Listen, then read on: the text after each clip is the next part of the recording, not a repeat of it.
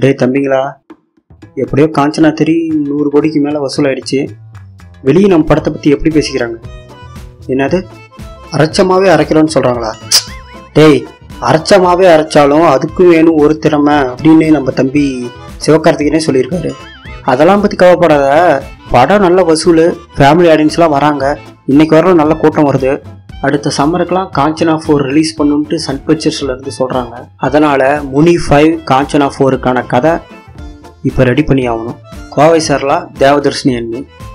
இவங்க ரெண்டு பேரையும் வச்சு ஏற்கனவே எடுத்த காமெடியை அப்படியே லொக்கேஷன் மட்டும் மாற்றி எடுத்து காஞ்சனா ஃபோருக்கு காமெடி சீனாக வச்சுக்கலாம். அடுத்து பாட்டு.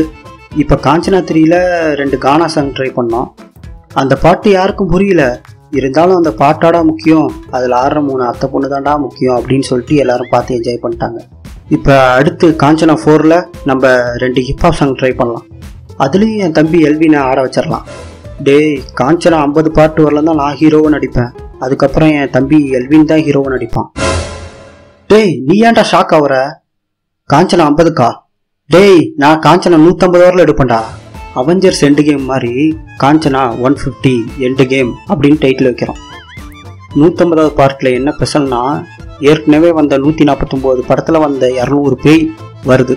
செம மாதம் இருக்கும். பட்ஜெட் எவ்வளோ தெரியுமா? ஆயிரம் கோடி. கலாநிதி மாறன் சாரும் ஓகே பண்ணிட்டாரு. சரி இப்போ காஞ்சனா ஃபோருக்கான ஸ்டோரி டிஸ்கஷன் வருவோம்.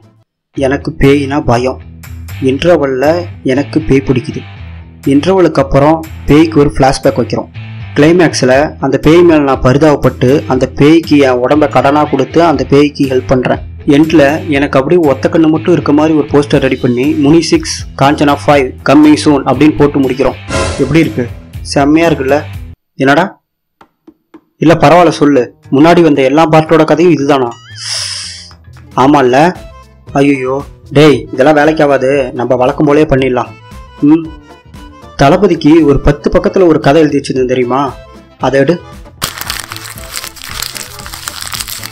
ஆ இந்த கதை தான். இப்போ அந்த காஞ்சனா த்ரீ இல்லை இல்லை காஞ்சனா ஒன்னோட ஸ்டோரி புக் கொடு.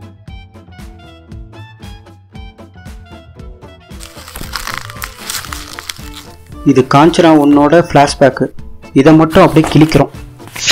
கிழிச்சு தூக்கி போட்டு இப்போ தளபதிக்கு எழுதின கதை இதில் ஃப்ளாஷ்பேக்காக வைக்கிறோம். அவ்வளோதான் இப்போ காஞ்சனா ஃபோரோட ஸ்டோரி ரெடி இந்தா இந்த ஸ்டோரி பத்திரமா வச்சுக்க. இப்போ நம்ம வந்து நெக்ஸ்ட் வீக் வந்து ஷூட்டிங் போயிடலாம். ஓகேவா இப்போ என்ன பண்ணுங்க? காஞ்சனா த்ரீயில் நாலு ஹீரோயினா இப்போ காஞ்சனா ஃபோரில் பதினெட்டு ஹீரோயின் புக் பண்ணிடுங்க. ம்? ஒரு பாட்டில் என்னை சுற்றி பதினெட்டு ஹீரோயின் கிளாமராக ஆட வைக்கிறோம். ஏன்னா இது ஃபேமிலி படம்ல.